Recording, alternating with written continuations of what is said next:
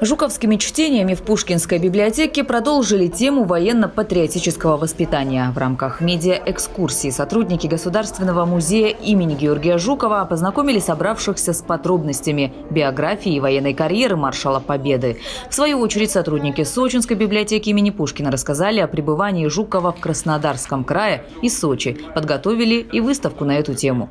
Участие же в конференции приняли члены Делового совета России ЮАР, в том числе военный атташе Республики ЮАР в Российской Федерации, члены Совета ветеранов Сочи и представители централизованной библиотечной системы курорта. Это выездная конференция Государственного музея э, Георгия Константиновича Жукова, Калужской области, город Жуков. Они предложили провести ее в библиотеке. Э, естественно, эта тема очень близка и дорога э, нашим постоянным читателям и членам музыкально-поэтического балкона. Поэтому мы с радостью приняли гостей.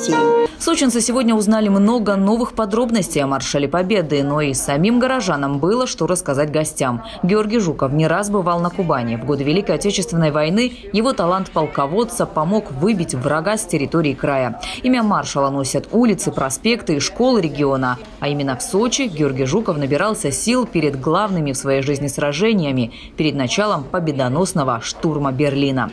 Кстати, в микрорайоне Ареда есть бюст маршала Жукова. На собственные средства его установили сочинцы.